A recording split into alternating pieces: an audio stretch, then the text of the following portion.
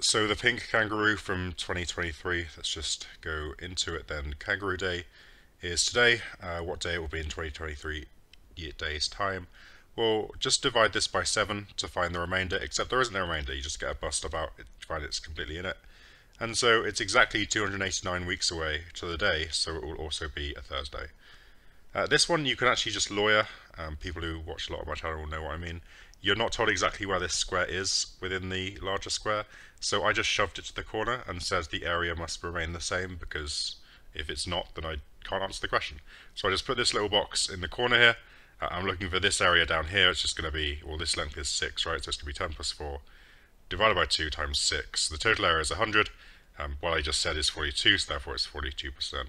Question number 3, so you, you draw the first bit I guess, so it's 4, and sorry it's 1 and then 4 horizontal and then 1.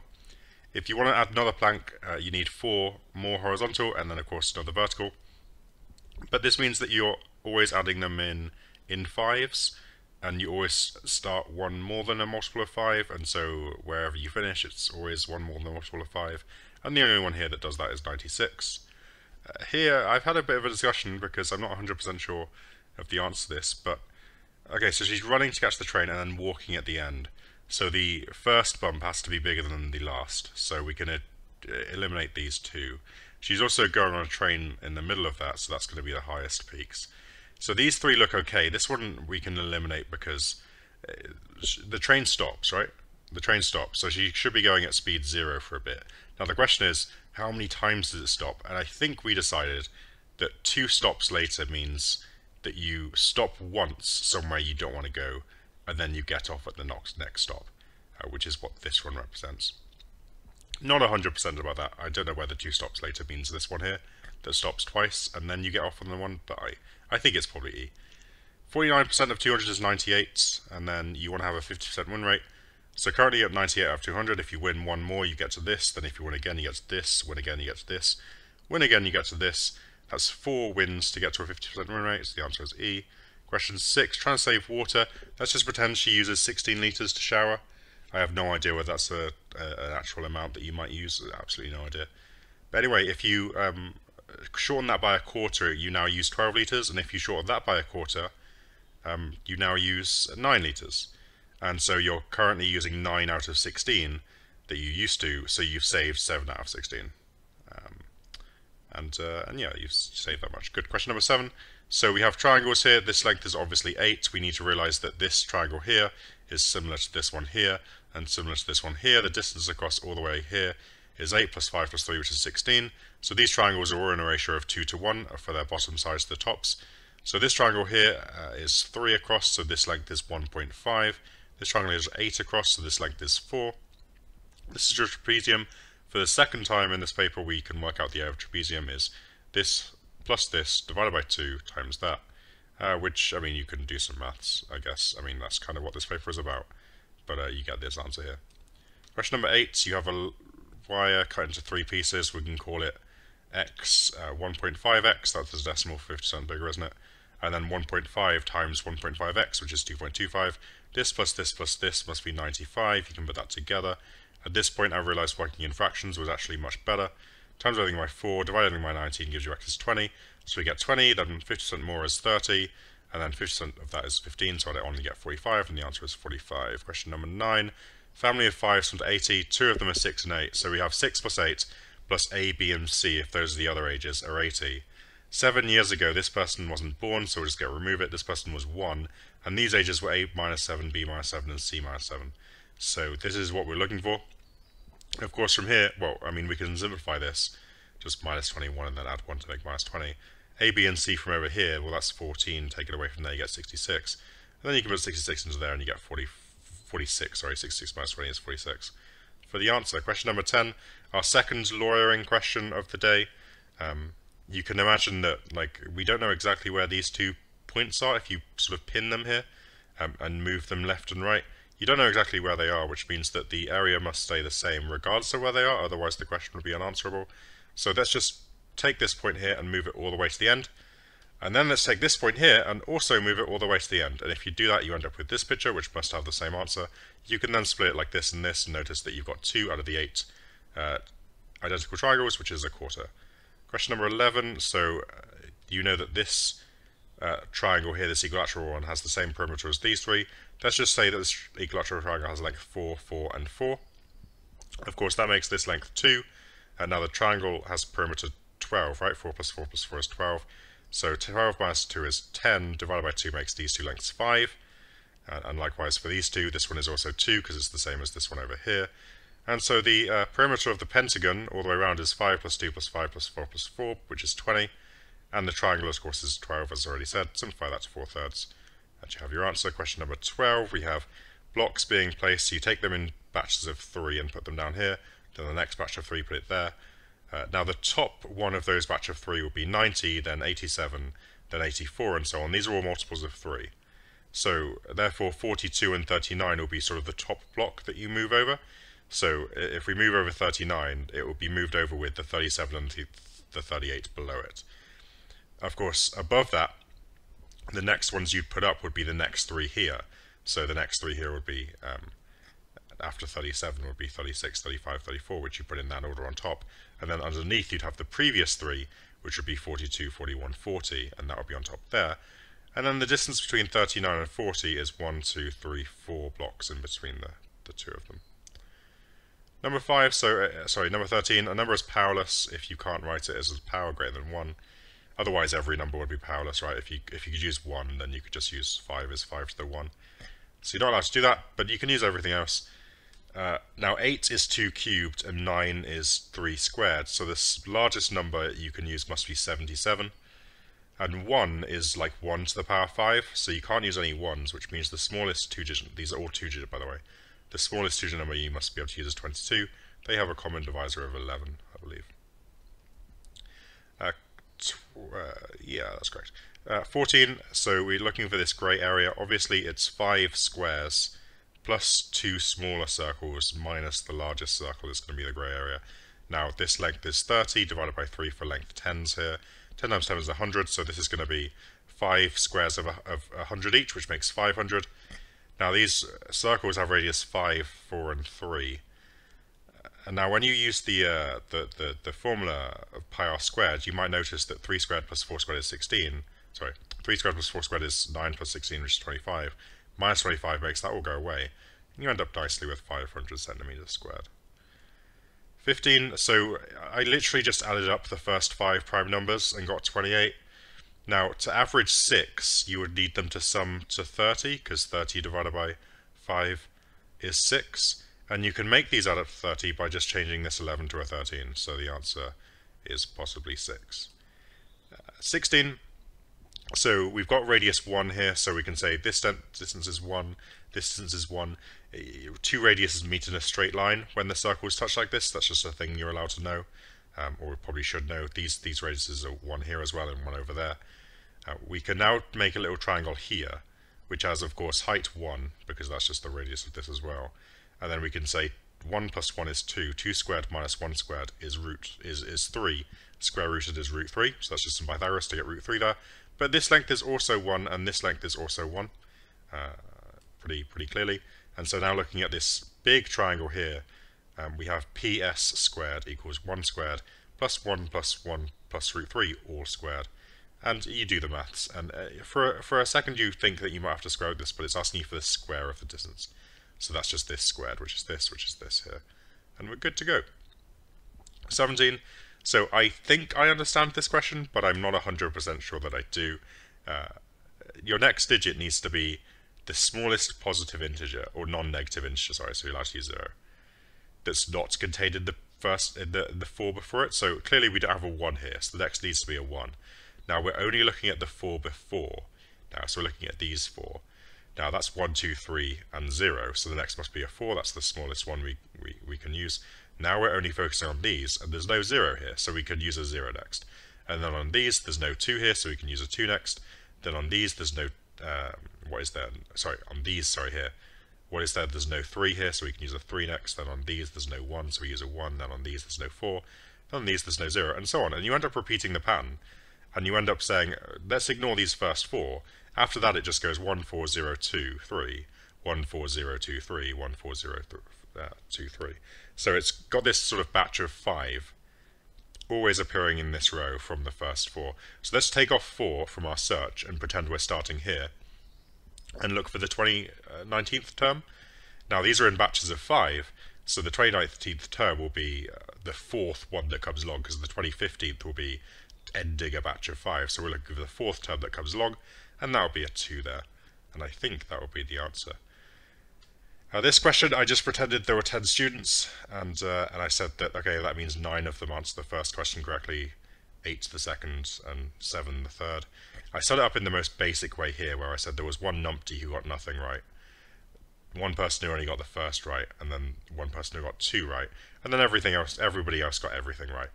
Uh, so this is 70% of the students, sorry, this is 60%, isn't it, of the students, yeah, 60% getting everything correct.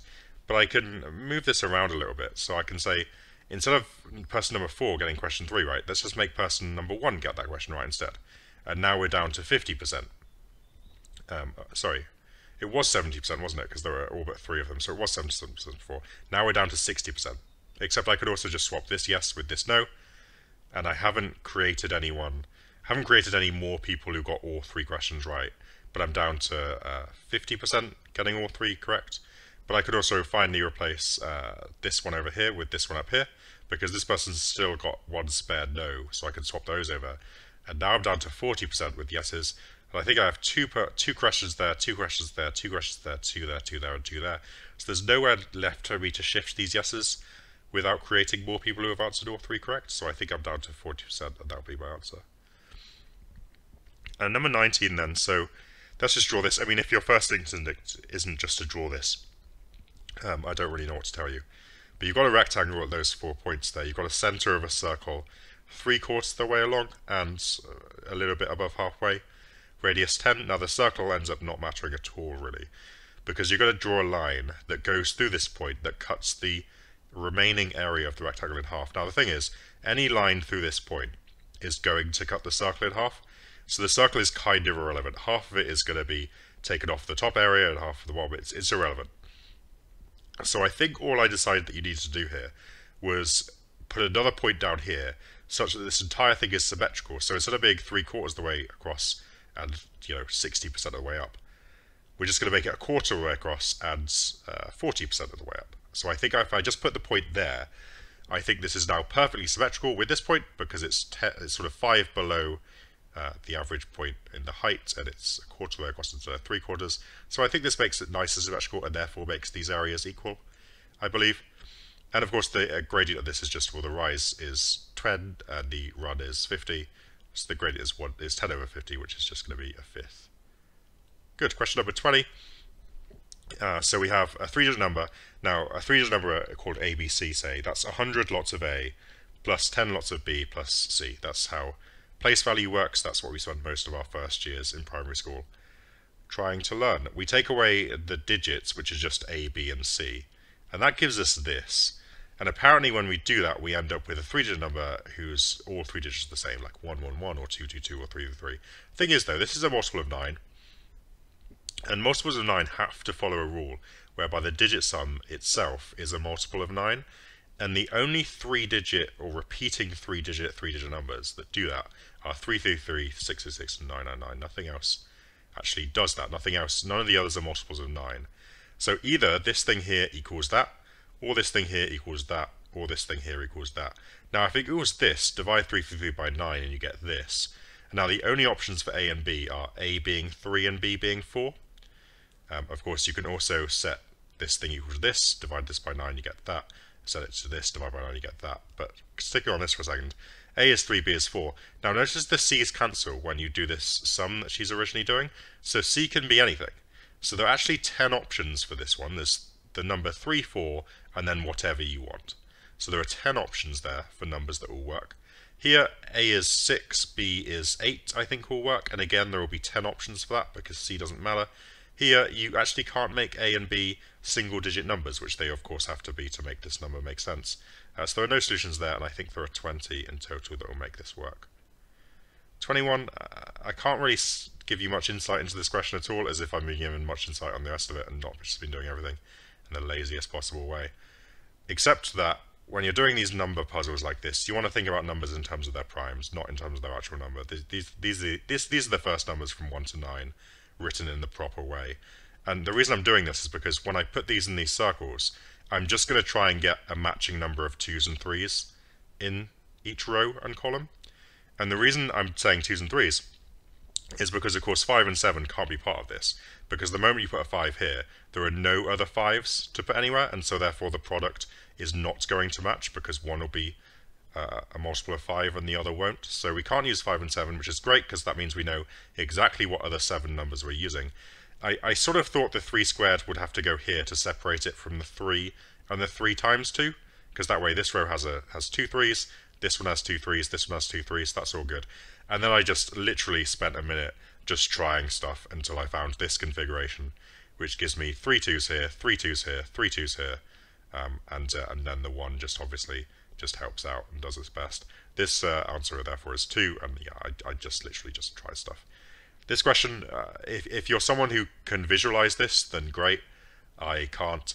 What you spot as you go through them though is when you try and package this up, and by the way, I thought it was easier to imagine packaging this into the screen. Like if you imagine, it's hard to explain, but like folding this uh, upwards uh, rather than backwards, uh, that was easier for me to imagine. But anyway, when you when you look at this and you try and fold it up, you realize that this rectangle here folds up to be side by side this edge here with this edge here. And so this black line should, when you fold this up, reappear here, which it does not, and therefore you can't make C. So just imagine folding this up forwards towards the screen into a box. That bit there should connect there, and it doesn't. So the answer is C. You just need to look through each one and try and spot places that don't work like that. So I just spotted C eventually. Now 23, I'm not happy about. I, if anyone has a nice way of doing this, I'd be really pleased. One thing that did has been pointed out that I thought might be quite cool is you start at B and then you just need to always alternate between N and A. So if you just remove B from the picture, essentially you're just asking how many random walks you can take starting here or here, and that will be the answer. Unfortunately, I didn't find a nice way of actually finding out that. So what I did do was I started at B and I started drawing a tree diagram, which in PowerPoint is not fun. Um, but anyway, you go from B to A, and now both of these A's have two ends they could go to. Um, so this is what the tree diagram looks like so far.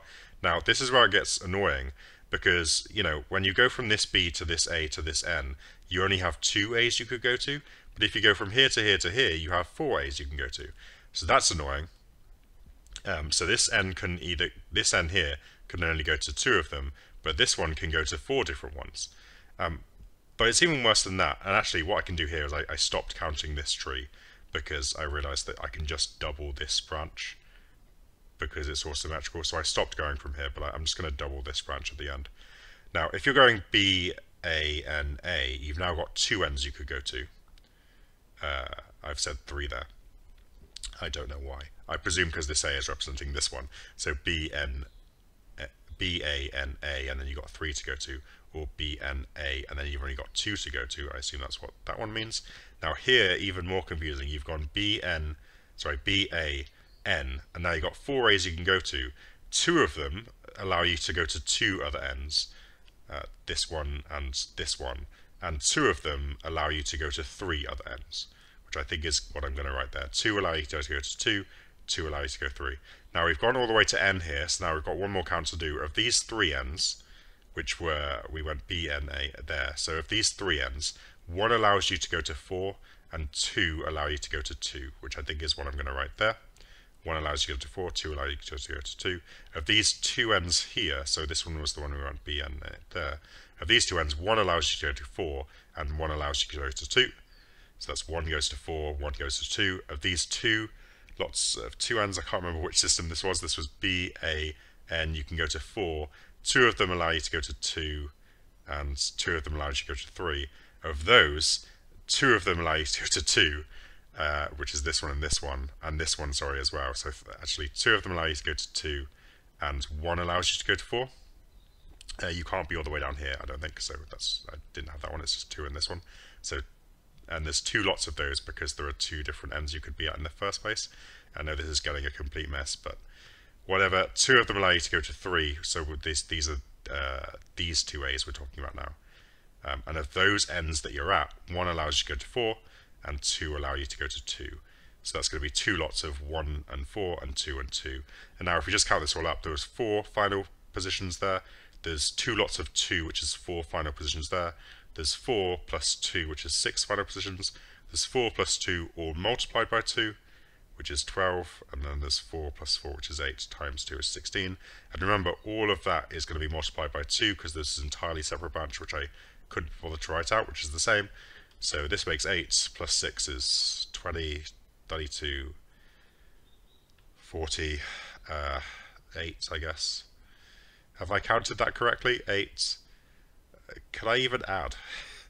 Uh, so we've got 8 and then plus 6, I believe, is 14. Plus 12 is 26. Plus 16 is 42. Doubled is 84, which I believe was the answer I had the first time that was uh, that was uh, that was gross. I, I, I'm not even pretending like I explained that well. That was just a horrible question that I just hated. This question I think is quite cool. So these numbers represent how long the paths around them are. Now, of course, these is confusing because like this path is being counted twice by this number and by this number. What you could do is you could say, well, all of these paths, ignoring the outside edge, all of these paths in the middle if I do 10 plus 3 plus 7, I think I get all of the paths inside the park.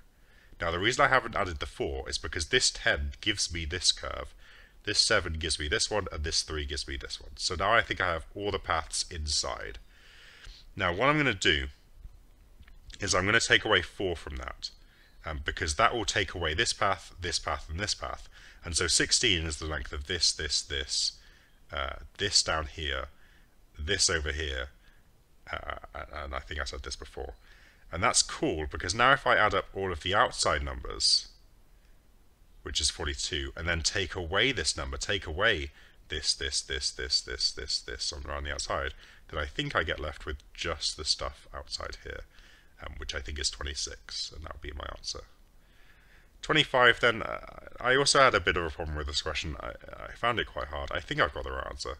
Um, the key thing that I thought was okay to have three consecutive numbers next to each other add up to a multiple of three.